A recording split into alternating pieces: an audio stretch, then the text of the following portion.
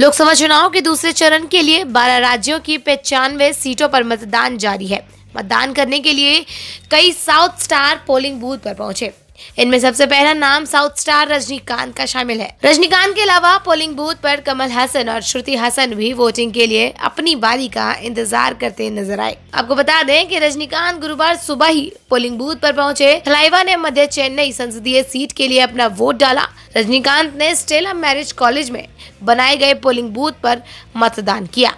रजनीकांत की polling booth पर vote डालते हुए तस्वीरें सामने आई हैं। तस्वीरों में सफ़ेद कुर्ता, पैजामा पहने हुए रजनीकांत काफ़ी खुश नज़र आ रहे हैं। वहीं रजनीकांत के बाद मक्कल नितिन मेयम के चीफ और एक्टर कमल हासन चेन्नई के बूथ पर नंबर 27 में वोट डालते पहुँचे।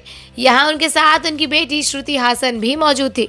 श्रुति हासन अपने पिता कमल हासन के साथ अपनी बारी का इंतज़ार करते हुए नज़र आई। चुनावी मौसम में इस बार बॉलीवुड से लेकर साउथ इंडस्ट्री तक सभी कलाकारों ने सरकार के पक्ष और विपक्ष में खुलकर राय रखी है। चलिए, फ़िलहाल के लिए इतना ही। बाकी अपडेट्स के लिए हमारे चैनल को सब्सक्राइब करें और देखते रहे पीएमएस मीडिया